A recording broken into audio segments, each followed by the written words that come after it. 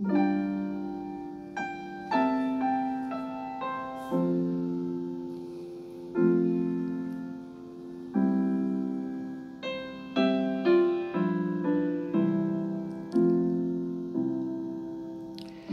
Gospel of Mark is one of the four canonical Gospels in the New Testament. It is the second Gospel. The Gospel of Mark is anonymous. Eusebius, the early church history writing in AD 326, preserved the words of Papias, an early church father. Papias quoted the elder probably as saying that Mark recorded Peter's preaching about the things Jesus said and did, but not in chronological order. Therefore, Mark was considered the author of this gospel even in the first century. The Mark who wrote this gospel was John Mark, the son of a widow named Mary in whose house the church in Jerusalem sometimes massed.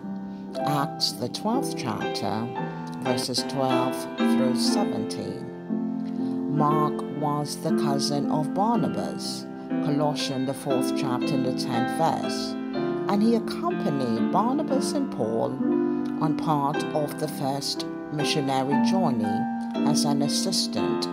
Acts, the 13th chapter, and the fifth verse. But at Perga, he returned to Jerusalem. Acts chapter 13, verse 13. Before Apostle Peter's martyrdom, he wrote the churches in Asia.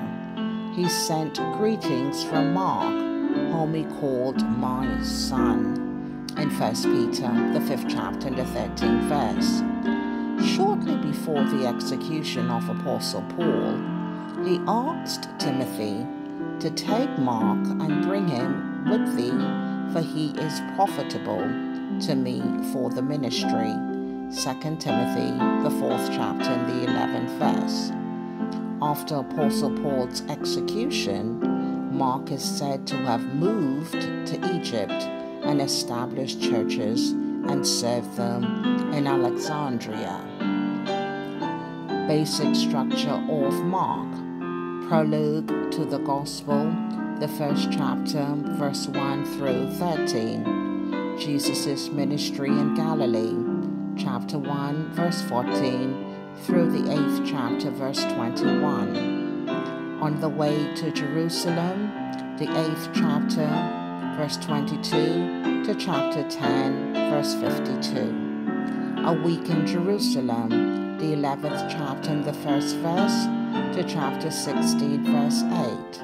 And lastly, the appendix, Jesus' appearances, chapter 16, verses 9 through 20.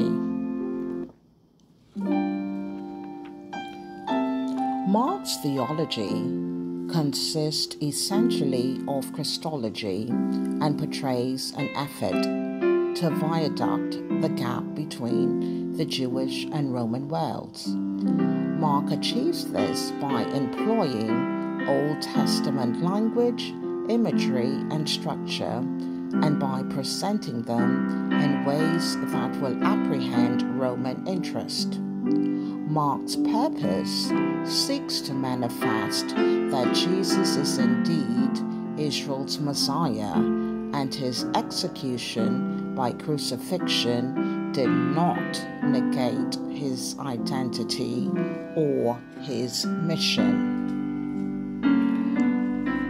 The Gospel of Mark is a chronicle of Jesus' life, ministry, death, and resurrection. The Gospel of Mark opens with a declaration of Jesus Christ as the Son of God that Jesus is the divine Son of God is the major emphasis of his gospel.